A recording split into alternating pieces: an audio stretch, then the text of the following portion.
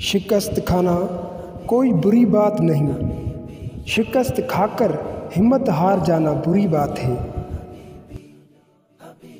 زندگی سادہ اور مختصر ہونی چاہیے، ورنہ قیامت کے دن حساب میں بڑی پریشانی ہوگی۔ اسلام کے بعد مومن کے لیے مغفرت اور عافیت سے بڑھ کر کوئی نعمت نہیں۔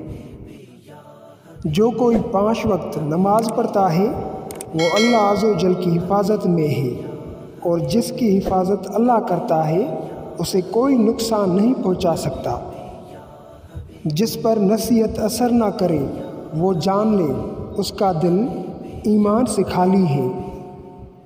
ماں باپ کی رضامندی دنیا میں دولت اور آخرت میں نجات کا باعث ہوتی ہے۔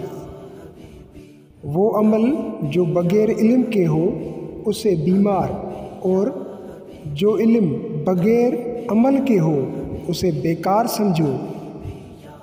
وہ شخص نہایت بدبخت ہے جو خود تو مر جائے لیکن اس کا گناہ نہ مرے۔